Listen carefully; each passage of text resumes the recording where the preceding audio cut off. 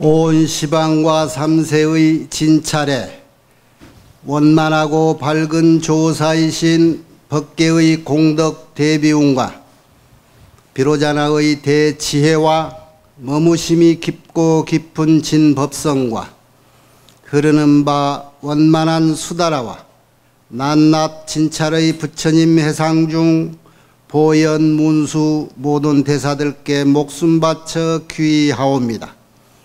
제가 지금 한터럭의 지혜로 가없는 법계의 공을 헤아리고자 합니다. 바라옵건대 삼보의 동체자비를 받들어서 말과 글귀마다 부처님의 뜻에 부합되게 하시고 법안이 항상 잘못 없게 하시며 온 중생계의 보현처럼 행하게 하시고 수승한 선을 되돌려서 많은 중생들을 적시어 보리의 상락과를 빨리 얻게 하소서.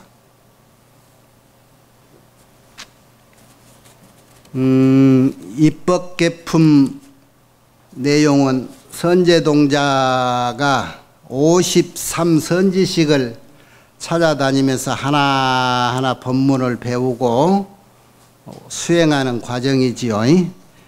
에, 첫 번째 문수보살에게 에, 칭견을 했고 그 다음에 덕운 비구 덕운 스님에게 에, 무슨 교육을 받았지요?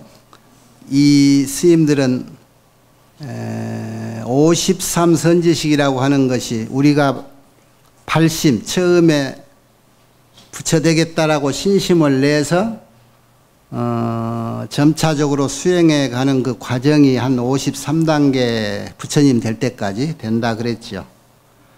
그래서 어, 문수보살을 시작으로 음, 발심을 해서 걸어가는데 첫째 선지식이 이제 덕운비구인데 덕운비구에게는 지난번에 제일 처음 사람들한테 중요한 게 뭐요?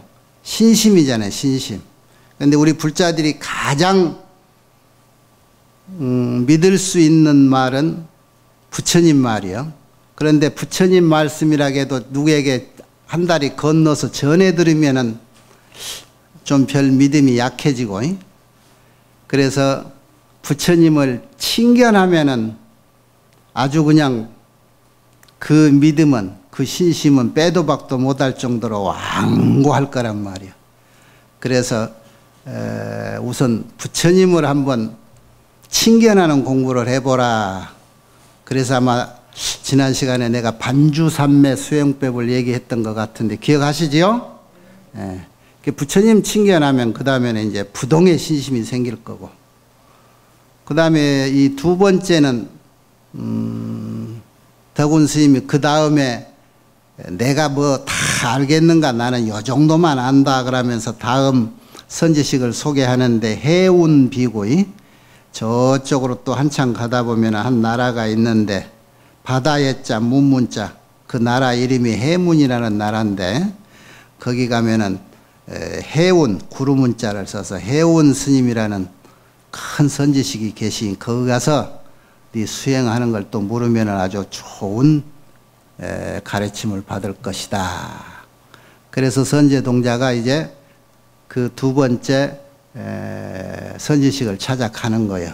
그런데 아, 두 번째 찾아가는 선지식 과정에서는 이제 무슨 공부를 하느냐 하면은 여러분 그동안에 예전에 배웠던 십신위와 십주, 십 행, 십해향, 십지 그리고 등강묘가 그랬죠.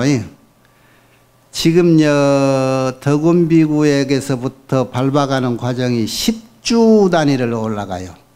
십바라밀의 수행을 바탕으로 해서 하나하나 덕은비구 스님 얘기에서는 보시바라밀을 수행하는 거고 그걸 주로 그리고 나머지 십바라밀 중에 아홉을 그걸 반으로 그 다음에 이 두 번째는 해운비구 해운 스님한테는 어 저 10주 중에 발심주가 제1이고 제2는 뭐라고 기억이 나실까? 제2는 치지주 그럴 거예요. 다스릴 치자, 땅 지자. 그 다음에 수행주, 그 다음에 생기주, 뭐 이렇게 해서 저 10주 그 단위가 있는데 계위가. 두 번째 치지주라고 해서 땅 짓자는 뭔 땅이냐? 땅을 다스린다. 그게 심지라 마음의 땅을 다스린다 이런 뜻이에요. 치지주란 말은. 그래 이 사람 마음이 이 대지하고 비슷해. 에, 이 뒤에 경구절에 보면은 대지하고 사람 마음이 왜 같느냐 모든 것이 평등해. 그리고 위에서 보면은 큰 대심으로 이리 보면은 땅은 편편하잖아, 이렇게. 그래서 모든 게 평등하고, 그 다음에 또 뭐가 평등하냐. 뭐든지 차별 없이 콩 심으면 콩 나게 해주고 팥 심으면 팥 나게 해주는 게 땅이야. 아, 땅은 속이지를 않아. 정성을 쏟은 것만큼 거기에 대가를 주는 거예요. 요즘에 아마 아, 도해지에서 하도 이 장사, 이 사업, 저 사업 해보던 사람들이 사람 상대해서 하는 사업, 장사 이거 아주 질려서 귀양한 사람들 있잖아요. 뭘 믿고 귀양을 했는고? 땅은 진실하다. 땅은 거짓을 저 거짓이 없다. 내가 쏟은 정성만큼 내가 가꾼 것만큼 그거는 옥토가 되더라. 그 진리를 믿고 귀양하는 거예요. 그러지요? 예, 그만큼 땅이라고 하는 것은 만인에게 평등해. 그게 마치 사람 마음과 같아. 우리 중생이 원래 이렇게 다 똑같은 평등심이라. 그런데 자꾸 모난 짓을 하다가 보면은 거기에 그냥 저 간솔같이 옹골이 붙어가지고 고집스럽게 편협심으로 바뀌고 그러는 거예요. 부처님 같이 이렇게 원래는 우리 마음이 이렇게 평탄하고 평등했고 누구에게도 차별하지 않고 그랬던 거예요. 그래 그런 평등한 마음의 원래 자리로 잘 다스려가는 것 그게 치지요. 치심지 그러지 이게. 그 이제 선제 동자가 아, 덕운 스님에게 다음 선지식을 가서 나는 요 정도만 할 테니까 가서 또 공부해라라고 보내서 이 해운 스님한테 오는데 해운 스님한테 찾아갈 때도 그냥 가는 게 아니고 여러분은 여기서 법문 듣고 다음 법문 어디 다음 주까지 기다리기 뭐 하니까 그동안에 그때 가서 공부하면 되지 그러고 오늘 했던 거 다 잊어버리죠. 신발 신기도 전에. 그 선제동자는 그 다음 그 선지식 찾아가면서 어떤 마음을 가지고 가느냐 여기 요 행적이 나오는데 에 정념 관찰이라 그 말이 나와요. 바를 정자 생각념자 관찰한다라 해서 관찰. 바른 생각으로 관찰한다. 무엇을? 이때까지 들었던 법문을. 그러니까 그 법문 내용이 뭐냐? 아, 뭐, 부처님을 생각하는 연불문, 해탈을 생각하는 해탈문, 삼매, 이런 것들을 늘 관찰을 하는 거야. 바른 생각으로. 정념 관찰이란 말이 요즘 우리가 쉽게 요즘 사람들이 많이 하는 말로 보면은 에, 마음을 관찰한다, 마음을 살핀다. 요즘 그 명상을 요즘 그렇게 얘기할 거예요. 명상하는 사람들. 명상은 일종의 관찰이라. 그런데 관찰을 명상을 어떻게 하느냐? 살핀다는 뜻이거든. 뭘 살피는 대상이 있어야 돼. 부처님 법문을 들은 그 법문을 하두를 삼아서 관찰을 한다는 얘기예요. 그래 가장 심오한 관찰법은 가장 근원이 된 비로자나법, 법신불의 본 정체가 뭐냐? 우리 중생심이요 부처님 마음인 부처님은 중생심이죠? 그 근원은 하나라 그랬잖아요. 그 하나의 자리가 법신 자리란 말이에요. 그 자리를 관찰하는 거야. 그럼 그 자리는 평소에 어떤 자리냐? 모든 것을 관찰하는 관찰자의 입장이거든. 그러면은 그 자리를 관찰한다는 것은 관찰자를 관찰한다 이런 뜻이 돼. 그러니까 화두에 드는 거야, 화두. 그 화두가 깊어지면 삼매가 되고 정이 든단 말이야. 그 삼매에 들어서 지혜가 열리는 거예요. 그래 다음 선지식을 찾아가면서 선지식이 그동안에 일러줬던 선지식 교 가리킴에 대해서 계속 사유하면서 다음 선지식을 찾아간다 이런 내용이에요. 그 사유가 정념 관찰이다. 그 여러분이 오늘 공부하는 것 다시 한번 이렇게 자꾸 되새김질로 공부 복습하면서 그걸 하도 삼아서 계속 깨우쳐 가야 되지. 그 깨우쳐 가는 과정이란 말이에요. 정령 관찰이. 그래야 다음 법문을 어, 이해를 하는 거예요. 그렇게 해서 선제동자가 다음 해원 스님을 찾아갔단 말이지. 그래서 해원 스님을 찾아뵙고 이제 처음 만난 A를 다 갖추고 해원 스님에게 물어. 예전과 똑같대. 보살은 어떻게 보살 행을 공부하고 보살 도를 수행하며 보살 저 길을 갈 수가 있는가? 그 해운 비구가 이제 이 선제동자에게 일러주는 말이 너 발심했느냐? 발 안욕 따라 삼맥 삼보리심 발심했느냐? 너 부처되려고 마음 먹었느냐? 너 수행하려고 마음 먹었어? 이렇게 묻는 거예요. 나한테 공부를 하러 왔다는 것은 야가 공부할 수 있는 내가 법을 전달해 주어서 그 법을 전해 받을 수 있는 법의 그릇이 되느냐? 이렇게 재보는 거예요. 그죠? 그래서 첫 마디가 너 발심했느냐? 그러고 보니까 선제동자가 서슴없이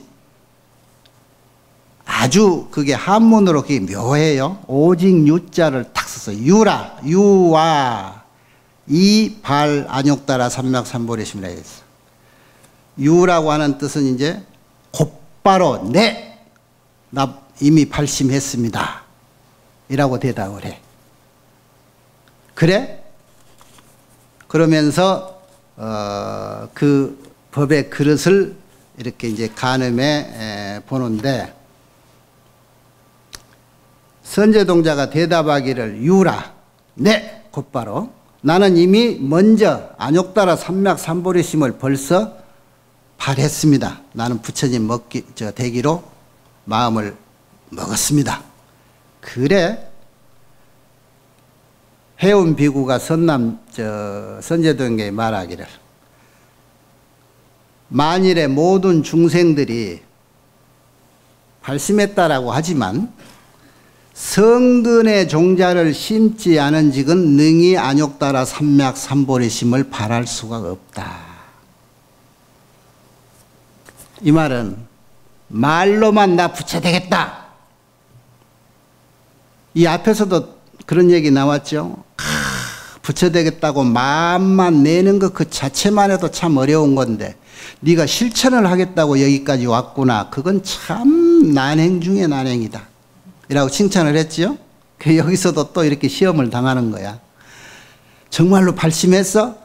그런 게 거침없이 네 나는 벌써 발심했습니다. 그래? 말로만 한 게 아니고 발심이라는 것은 말이야. 옛날부터 성근 종자를 심지 않고 말로만 아무리 발심했다 해도 그거 마음대로 되는 거 아니야. 이 얘기. 에? 부종 성근이면은 즉 성근을 심지 않으면 씨앗을 심어놓지 않으면 네가 맘먹었다 해서 되는 거 아니에요. 여러분 공부하겠다고 맘먹은다고 해서 됩니까? 모든 여건이 공부할 수 있는 모든 여건이 갖춰지게끔 과거에 쌓은 모든 노력의 공덕이 있어야 된다고. 여러분이 여기 일주일에 일요일에 한번 법문 들으러 올래도 그 과정이 얼마나 복잡해요.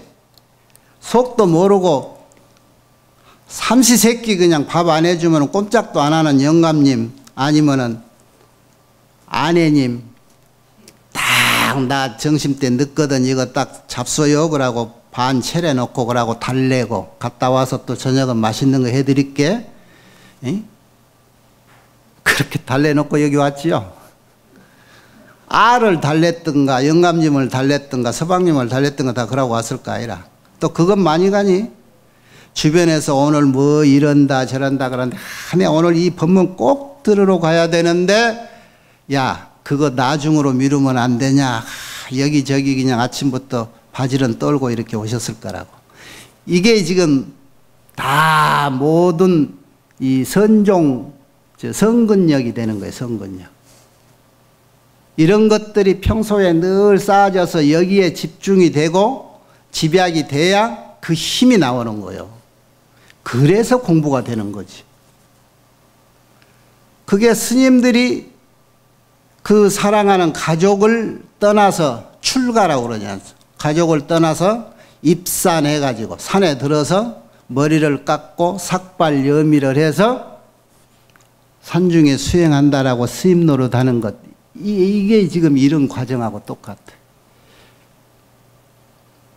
과거에 같이 삭발해서 이렇게 공부하겠다라고 수계받고 했던 스님들요. 50년, 60년, 지금 40년, 50년, 나도 한 50년이 지났는데 둘러보면 그 사람 어디 갔어? 안 보이는 사람이 너무 많아. 그 지금 스님들 숫자가 자꾸 줄어. 어디로 샜는지 그냥 마사토에 빗물 어디로 빠져나가고 안 비더라니까.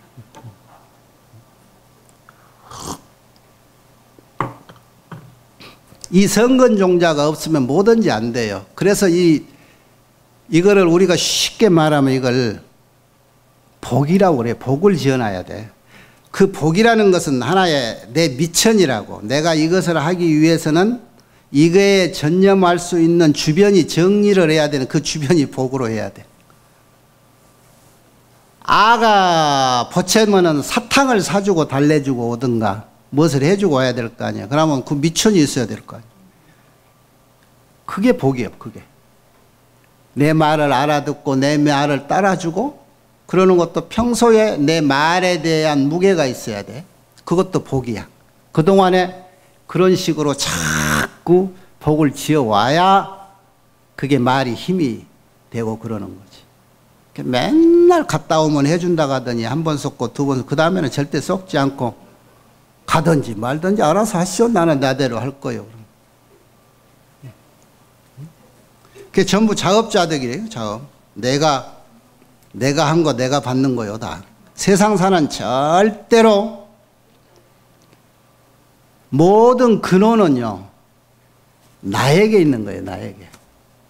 절대로 첫째 조건이 모든 좋은 일이든 나쁜 일이든 이 세상은 원인 없는 건 하나도 없지요. 그 원인이 첫째 원인일 그걸 인연 중에 그 인을 원인이라고 그러는데 그게 나고 그 다음에 나를 상대한 일체 모든 경계가 연이라고 연. 에? 내가 없으면은 불상사도 없고 내가 없으면은 이리 좋은 일도 다 없는 거예요. 나가 있음으로 인해서 좋고 나쁜 일들이 항상 그 경계가 있는 거예요. 그러니까 모든 게 내라 원인이 첫째. 그런데 사람들은 전부 정말 기중한 원인 중에 첫째인 내는 싹 빼고 남 탓만 한단 말이에요. 경계 탓만 해. 그런데 우리 불자들만이 유일하게 그 원인을 알기 때문에 나무 탓을 안 하지. 그러죠? 그러니까 우리 불자들 모여 있으면 평화롭잖아. 싸움도 안 하고. 나무 탓을 안 하니까. 원인은 더 큰 원인의 비중은 나한테 있는 거잖아. 나한테. 예. 이 세상사 모든 것이 그 원인이 나한테 있다는 것을 알면 돼요. 그럼 공부는 이거 공부 마치면은 보살이 돼가 보살의 큰 터전이 되는 거예요. 그래서 모든 것이 내 탓이다라고 알면은 그 다음에는 병 치유하는 법이 쉬워져. 왜? 나로부터 생겨났다는 걸 알기 때문에 그러니까 근원을 알았다는 거잖아요. 그러죠? 내가 아프면 왜 아프지? 아, 내가 왜 이렇게 고민스럽지? 내가 왜 이렇게 힘들지? 근본 원인은 먼저 나한테 있는 거야. 아, 내가 있어서 그렇구나. 아, 내 몸뚱이가 있어서 이렇게 아프구나. 내가 없으면 이런 고통도 없구나. 그러지요? 이게 지금 가벼운 법문 같죠? 부처님이 이 깨달음을 얻은 거요. 생로병사. 과거는 모르니까 지금 때 되면은 늙고 병들고 죽는구나. 왜 그러지? 어, 이 세상에 태어나서 그렇구나 하는 것을 느껴서 아는 거지. 그러니까 내가 있어서 그렇구나 아는 거잖아. 그런데 그러면은 치유법은 뭐예요?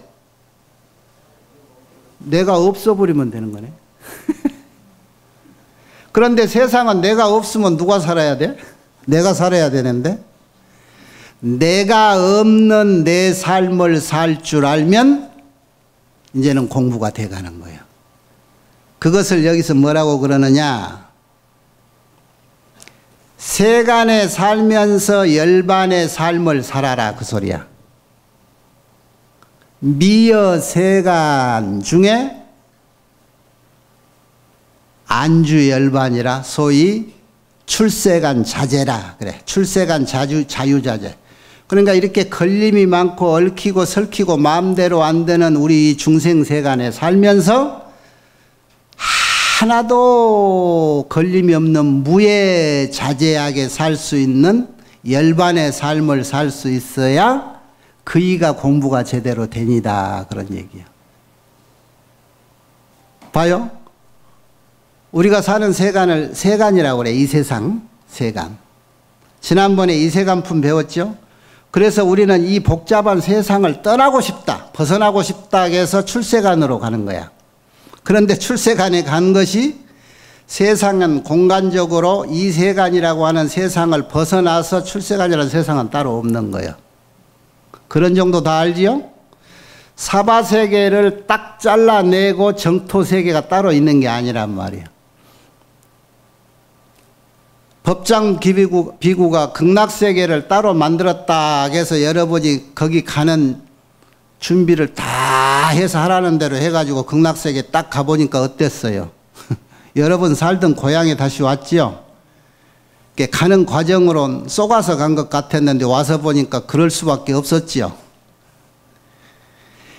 이 세간이라고 하는 것은 곧 우리가 가고자 하는 그 세상의 목적지야. 그래서 삶이 어떻게 바뀌느냐? 생사에서 안주 열반, 열반의 삶을 산다. 사바세계에서 정토의 삶을 산다. 이런 뜻이요. 이 보살의 삶이요. 그래서 그런 삶을 살려면 이 세상법에 통달을 해야 돼. 이 세상법에 통달하지 못하면은 극락세계라는 열반의 세계라는 건 없는 거예요. 그래서 저 뒤에 가면은 이런 구절도 나와요, 이제.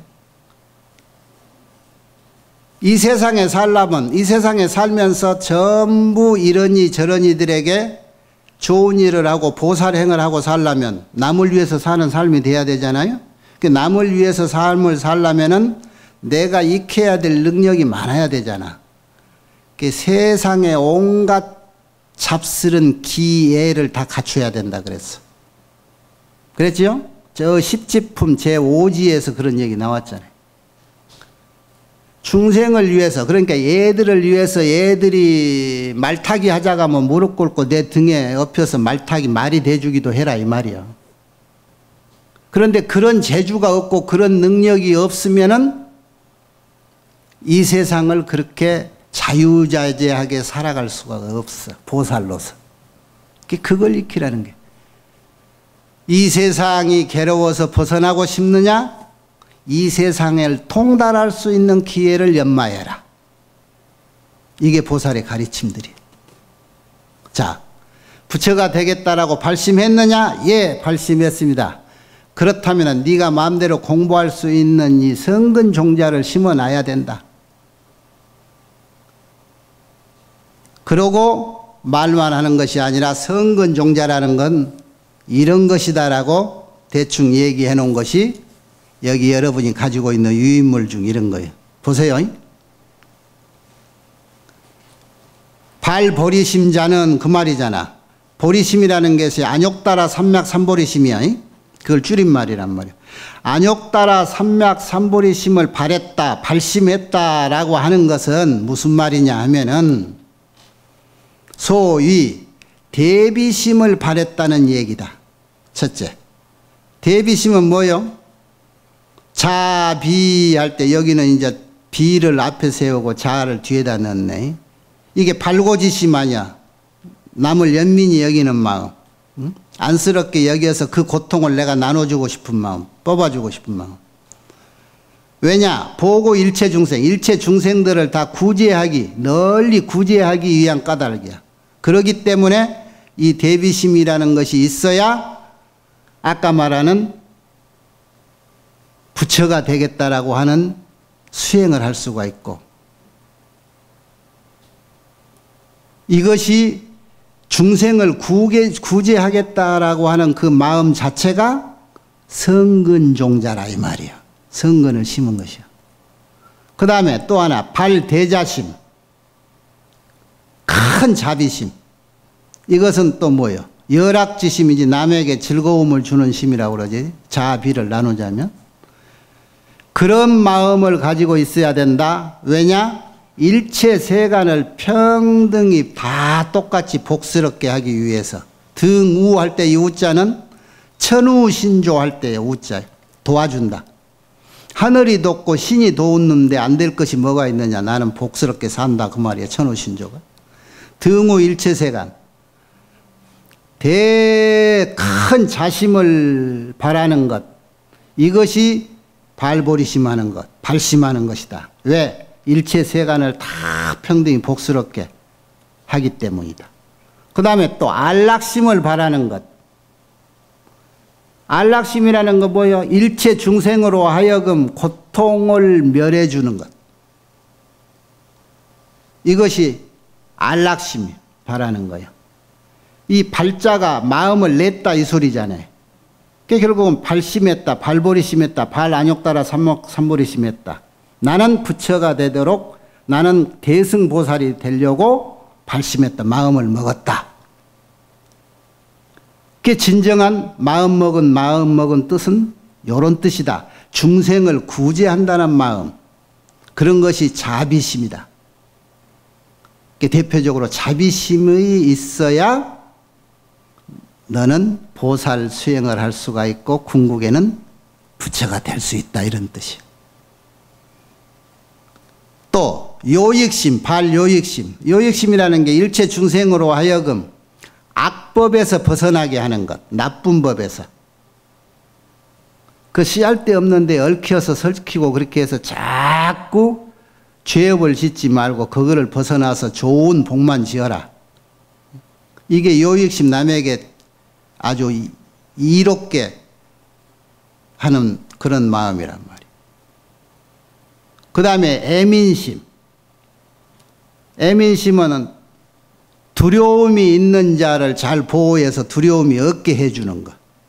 이게 한열 가지가 나오는데 크게 이 자비심이 다섯 가지고 나머지 이게 두려움을 보호해주고 발심해주고 하는 그런 얘기들이 여기에 지면이 이제 짧아서 여러 종류인데 이거는 한마디로 말하면 그러니까 발심자라는 것은 발보리심이라는 것은 안욕따라 삼맥삼모리심을 발했다는 것은 뭐냐 중생을 위하겠다라는 생각이 발심이다 이 말이에요 내가 부처가 되겠다 궁극에는 내가 이 사바 세계를 소위 말해서 정토의 세계로 살겠다.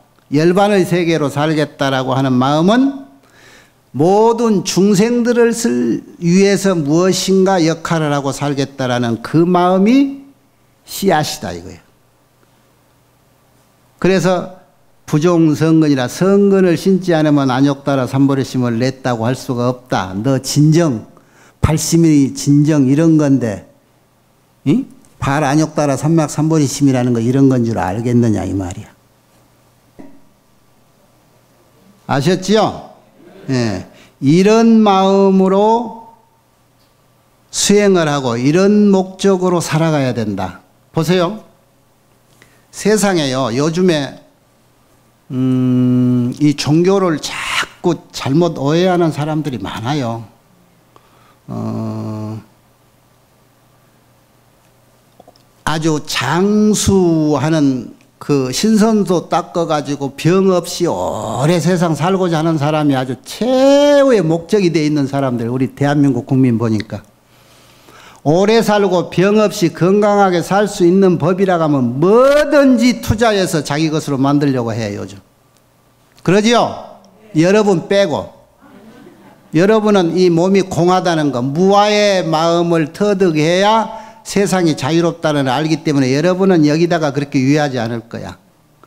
그런데 그렇게 몸뚱이를 위해서 성근 종자를 심어도 지 몸만 유의하고 지만 건강하게 잘 살라고 그렇게 살려고 하는 사람들이 거의 삶의 주가 되어 있는 사람들은 결국은 그렇게 살기는 살겠지. 그렇게 해서 성공한 사람들은요, 신선도 되고 그래요. 여러분 눈에 지금 신선이 잘 안 보이지요? 한 400년, 500년, 700년 묵은 수녀들이 주변에 있는데 눈에 잘 안 띌 거예요. 왜냐하면 그이들이 우리하고 가까이 안 해. 왜 그런지 알아요? 가까이 하면은 그냥 오염될까봐. 그게 악법. 그 사람들한테는 우리가 악법이야. 중생들이. 병든 환자야. 이제 코로나 걸린 사람으로 알고 있어. 왜냐? 가까이 하면 자기 수명에 아주 장애가 되는 거예요. 그이들이 신선이야. 그래서 그거를 얼마나 그렇게 잘 가꾸고 호흡도 하고 몸에 해로운 건 이만큼도 멀리하고 다 좋은 것만 먹고 그러니까 사람이 농사 지은 것은 그건 오염됐다 해서 안 먹고 하늘에서 내려진 이슬만 먹고 천도 복숭아만 천리 말리 따라다니면서 구름 타고 다니니까 그거 먹고 살면서 우리가 모르는 저 깊은 바다 속에 산다든가 저 못 가본 산 골짜기 동굴 속에 산다든가 구름 위에 떠다니고 산다든가 그래. 근데 그렇게 살면 뭐 할까? 달마 스님이 최초에 동양에 왔을 때 여러분 그 과정 생각나지요? 달마스님이 서천 쪽에 왕자라 인물이 환히 잘생겼어요. 그 인도 사람들이고 어디 어린애들 잘생겼는 거 봐요. 코도 그 부잣집 사람들 큰 어른들도 성년을 보면 아주 얼마나 이목구기랑 잘생겼어. 한마디로 부처님 봐봐 얼마나 잘생겼는가. 달마스님도 부처님보다 조금 모자라지만 그만큼 잘생긴 사람인데 불법을 이 동토에다 전화로 오다가 어느 시골 마을을 지나가는 때 아이 잘생긴 동네가 복스러운 동네가 사람이 하나도 없어. 텅텅 비어. 그렇다고 불나서 불타버린 것도 아니고. 이상하다 해서 마을에 들어오니 막 무슨 악취가 코를 찔렀지. 이거 보통 냄새가 아니구나. 그러니까 동네 사람들이 이거를 못 맡고 이 사람이 독한 냄새 독한 걸 맞으면 사람의 머리가 띵하니 돌아요. 병이 생겨. 그래서 피난을 다 가버린 거예요. 하하, 원인이 무엇일까라고 냄새 쫓아서 가니까 마을 뒷 어구에 아주 그냥 막 또아리 틀고 죽어가는 산더미만한 맷동만한 구맹이가 죽어 있어. 구렁인가? 그게 썩어가면서 막 냄새가 진동원의 동네 사람들이 그 냄새 때문에 못 살고 피난 가버린 아이고, 내가 좋은 일을 한번 해야지. 적어도 이런 정도 능력은 있는 거야. 사바세계를 자유롭게 살 수 있는 능력 중에 그런 기회를 갖춘 게 몸뚱이를 살짝 벗어놓고 정신만 빠져나오는 그런 정도의 능력은 닮았으면 마주 보잘것없는 재주 중에 하나예요. 그래서 내 몸뚱이 여기 안전한 데다가 딱 벗고 나와서 그 썩어가는 구명이 속으로 딱 들어가서 시동을 걸어가지고 그놈을 살살 한 덩어리 떨어지면 냄새 나니까 조심조심 동네에서 멀리 떨어져서 이제는 누구한테도 피해가 없을 만한 자리다 싶은 골짜기에다가 탁 처박아 놓고 여기서 생을 마치게나 그러고는 옷 벗어놓은 대로 돌아왔는데 내 몸뚱이가 없는 거야. 아주 없는 게 아니라 내 몸뚱이 벗어놓은 자리에 해게 망치가기 못센 놈이 하나 앉아있어 못생긴 놈이. 그래 이렇게 가만히 보니까 어떤 놈이 내 몸뚱이를 바꿔치기 해갔구나 그러고 이라고 딱 보니까 요 놈들 봐라 알겠거든. 우선 그 벗어놓은 거 못생긴 몸뚱이를 이라고 딱 내 것으로 다시 둘러쓰고 그놈들 있는 데를 이라고 갔더니 하, 저기 아주 절경 무릉도원 같은 데다 우뚝 솟은 일반 사람들은 오라 쳐다보지도 못할 만큼 구름 속에 갇힌 그 봉오리 중턱에 동굴이 있는데 머리 하얀 놈도 있고 가슴 놈도 있고 들락달락 며칠 보여서 이래 썩 동굴 입구를 가니까 사람들이라고 치다보다가 유독 누구 하나가 그냥 깜짝 놀라더라는 거야. 누구겠어? 내 몸뚱이 바꿔치기 해간 놈이야. 그쪽에서 얼마나 놀랐겠어? 닮았으면 알고 왔는데, 아이고, 이렇게 큰 어른인지 모르고 내가 죽을 죄를 졌습니다 하고 앞에서 넙죽 전하니. 그래. 아이 사람아, 아무리 나무 것이 좋다고 지금만 하겠는가 어째서 무슨 사연이 있길래 내 거다고 이렇게 바꿔 갔는가 그러니까 내가 이래저래 해서 신선도 닦아가지고 이제는 어느 정도 어, 남 따라할 만하게 한 700년을 살았는데 아직도 내가 내 맘대로 못하는 것, 내 재주로는 못하는 것이 이 태어날 때부터 못생긴 이 인물을 내가 항상 에? 자격지심이 생겨가지고 있던 차에 아이고 그냥 마침 이렇게 거룩한 법체가 있어서 내가 그냥 앞뒤 생각 안 하고 그냥 둘러쓰고 왔습니다. 축제를 졌습니다. 이제 돌려드릴게요. 그러더래. 달마스님이 어떤 분이야? 아이고 중생 교화로 왔던 분인데 네가 몸뚱이 못난 것이 그렇게 한이었더냐? 그 이게 마음에 든다면 그래도 그거 네 해라. 그러고 그대로 쓰고 온 인물이 지금 여러분이 희한하게 못생기고 호랭이 같기도 하고 뭐 같기도 생긴 거 닮았으면 그게 700년 묵은 저 신선 몸뚱이라. 근데 그 신선이 700년 묵고 또 1500살을 먹고 3000살을 먹은들 뭐 하겠느냐. 지 혼자 좋다고 사는 건데. 중생하고는 아무 상관이 없고 중생이 잘 살고 못 살고는 아무 상관이 없는 거예요. 마치 저 산에 고고하게 살고 있는 낙낙장송 한 송이만 못해. 거기는 죽어가면서 버섯도 키워주고 뭣도 키워서 중생한테 이렇게라도 해주지. 사람한테 집 짓는 목재라도 대주고. 800년 묵고 900년 묵으면 신선 지 혼자 그렇게 살으면 그게 뭐냐고. 700년 묵은 신선이 될라요. 80살 살면서 세상사 위에서 사는 그런 평범한 사람다운 사람이 될라요. 에? 후자를 여러분이 공부하는 도량이 이 전북 불교 회관이야. 에? 하루를 살아도 10년을 살아도 남이 그렇게 부러워하고 살고자 하는 백살은 못 살아도 내가 살면서 보람있게 사람답게 살 수 있고 내 능력이 이만큼밖에 안 되지만 이것이 세상 사람을 위해서 필요하다면 열 쪽을 쪽에서라도 놀아줄 수 있는 그런 마음으로 살아가는 내 인생. 이것이 부처님 같이 사는 거고 보살 같이 사는 거고 그러는 거예요. 이것이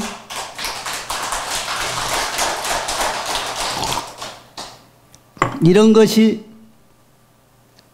보람있게 살아가는 수행자의 삶이요. 이 삶을 이렇게 살아가는 사람은요, 세월에 70년, 80년이 아무 상관이 없어요.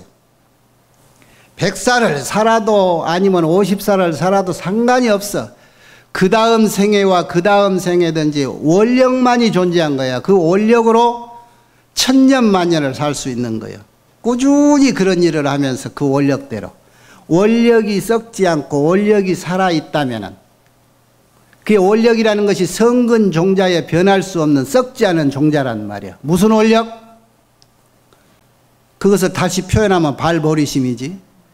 붙여되겠다. 왜? 모든 일을 위한 능력을 키우는 것. 백번, 천번 여러분 귀에 못이 박히도록 이제는 안 잊어먹을 거예요. 진정한 보살행을 하기 위해서, 보행행을 하기 위해서 나는 부처가 되었노라. 왜? 모든 능력을 갖출 수 있는 자리가 부처 자리거든. 그 모든 능력이 보현행으로 바뀌는 거예요. 중생을 위해서 필요한 자리에 나타나고 필요한 일을 해주고 필요한 것이 되어주는 것. 그것이 곧 보살행이요. 그래서 온 사바 세계는 보현행만이 존재하노라. 그런 거예요. 그래서 일체 재불이 시방삼세 일체 재불이 보현보살께 예배하노라. 그러는 거예요. 그런 큰 삶을 살아야 되고 그런 큰 삶을 살고자 마음을 내는 것이 발심이고 발보리심이고 발 안욕 따라 삼맥삼보리심이야. 선제야 알았느냐? 말로만 발보리심이 아니고 이런 것이 발심자니라 그 얘기라. 아셨지요? 오늘은 여기까지입니다.